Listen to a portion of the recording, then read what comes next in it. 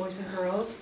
How many of you love reading? If you love reading, say, oh yeah. Oh yeah! The hamster and I really love reading. The hamster and I have been reading on the weekend some really great animal stories, and one of them was Julius. And I know that you read that story too, didn't you? Yeah! We're going to be trying an, an inside and outside circle activity where you can ask a partner a question about our story and you're going to find some really interesting answers.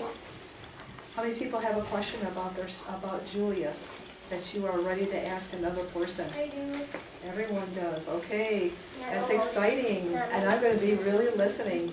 If your number is, is an odd number, I'm gonna have you go to the outside of the circle. Can we have all the people with an odd magic number travel gently and make an outside, big outside circle? Oh, you did that so well, you did it really quietly. One, three, really and quietly. And you're, um, You're and what? you're facing me. Let's back up as far as you can.